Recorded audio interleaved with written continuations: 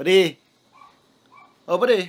Bogay ka raw nitong binakal nindong bagong sopa. Nailing ko sa post mo. Ay, kakadeliver lang ka to bago. Maurag ka na. Maurag pa di. Sa inindo to na bakal. Ay, dyan, sa may Maxins Home Ideas. Maurag ang mga furniture naman pa di. Mga di kalidad, tsaka sulit talaga ang kwarta mo. Oh, kumpleto sinda duman pa di. From sopa, kama, dining set, sofa bed, mga foam and mattress, mga tukawan, name it, kumpleto sinda duman pa di. Asa i-check mo ang Facebook page sinda ta. Dakol sinda duman mga gaya na pwedeng magpilian. Oh, okay. Sa may side man yan, Maxins Home Ideas na yan. Sa may Concepcion Grande lang yan pa di. Paghalik ang naga, nasa may right side lang yan gilid lang mismo kan tinampo. Magduman ka sa Facebook page ninda, tawag naman direction para makuha mo tulos. Oh, okay. Check ko daw.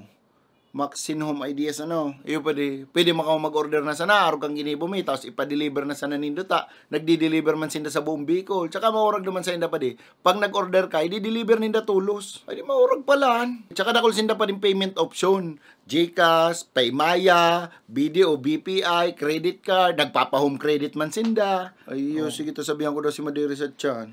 Ay, padi. Paigdi na pala si Michelle.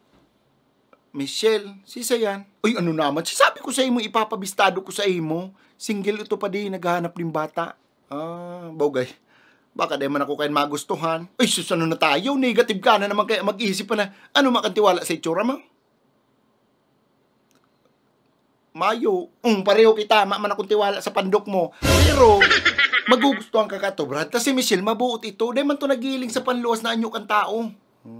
Bo, sigurado ka dyan, ha? Ay, iyo! Iniistoryata ka pa sa nangani sa iya, dahil ka pa niya nahiling ng personal, kinikilig na. Iyo? Ay, sasabihan ko sa iyo mo pa de.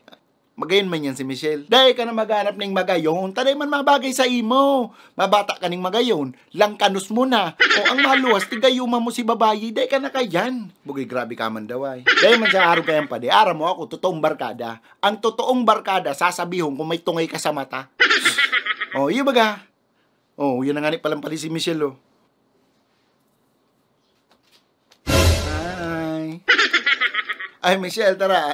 Michelle, si Pading Berting palan. Berting, si Michelle. Hi, Michelle. Hello. Oh, hi na pala si Papa Bistado mo sa kuya. Ay, si Pading Berting na nga nitong papabistado ko sa imo. Ay, siya?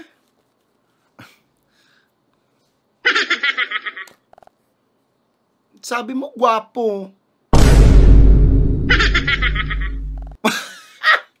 gwapo yan si Bading Berting. Medyo garo napas malang ang pandok ayan, kaya garo stress silingon. Pero maurag yan, mabuti yan si Bading Berting. mm. Sabi mo pati, macho. macho yan si Bading Berting. Medyo nanganaan lang ng siba katong quarantine. Kaya Ara mo na. Sabi mo pa, maputi. Mm. Okay. Maputi yan si Pading Berting. Medyo na, na, nabalad lang sa saldang. Kaya ano naman siyempre. Pero, bugay, mapagmahal yan. Si Pading Berting. Ano ba Tsaka maurag yan. Mabuot yan. Oh. Michelle, gusto mo, suntukan na lang kitang duwa, no? Ha? Ay, ay, ay, ay, relax lang pa di. Ano ka naman? Relax lang. Ano? Mana? Bukti, ano sana kitang duwa, no? Eh, hey, yeah, relax lang pa di. Relax ka lang. Di, ano? Ha? Talo ka. Ha? Makanuso na nga ni, bayulinti pa. Maduman na daw ako.